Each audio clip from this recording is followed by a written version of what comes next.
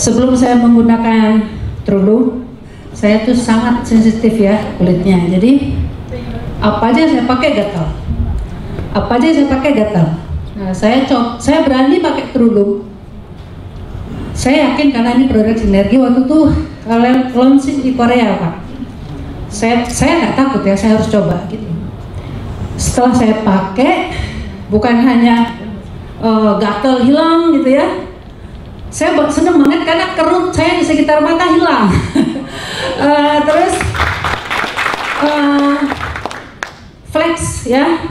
Seusia saya kan uh, flex itu sudah mulai timbul.